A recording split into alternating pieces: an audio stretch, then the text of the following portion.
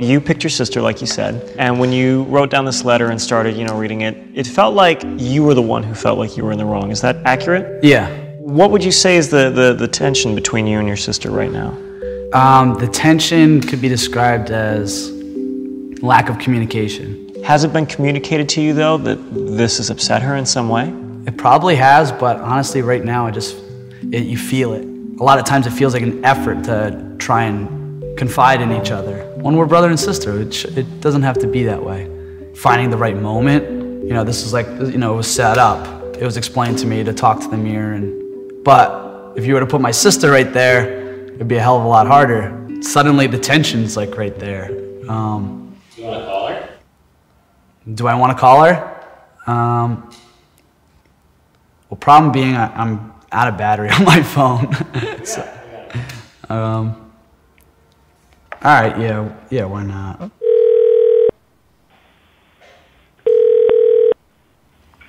Hello? All right, where are you? You Just are you outside? You can you hear me clearly? Yeah. Ah, okay. All right. So real quick, I'm um, currently being videotaped for a YouTube channel. It's Rainn Wilson's YouTube channel. It's called Soul Pancake. Like they basically did like a little survey regarding like feelings about forgiveness. They asked me to write about someone who was like important to me and I wanted to talk to about. So I thought of you. And uh, so I'm supposed to read this letter to you. Okay? Okay. All right, so just bear with me while I read this. Wait, now am I on video? You're not on video, just just your voice. Okay? What am I supposed to say? You just gotta listen. You don't have to say anything. Okay. Okay. Okay? All right. For my sister Kelsey, I wish I had made more of an effort to be a part of your life. It's not that I think I could have changed you for the better because you're already as good as it gets.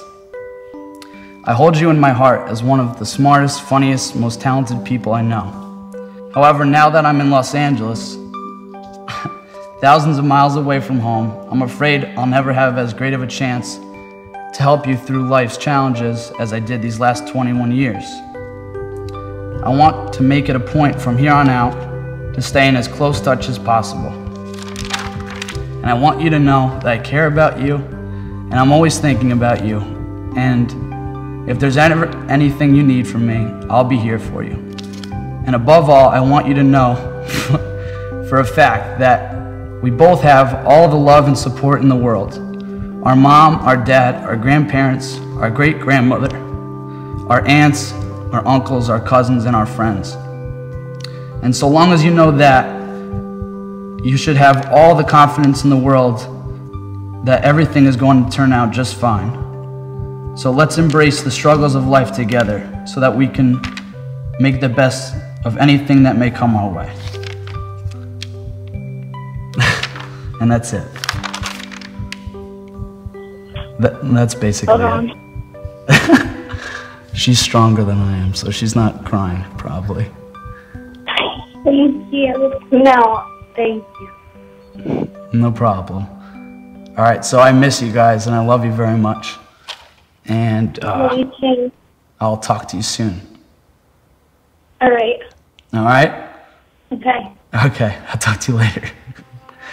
All right. Bye. Bye. Bye. Cool. And that's it.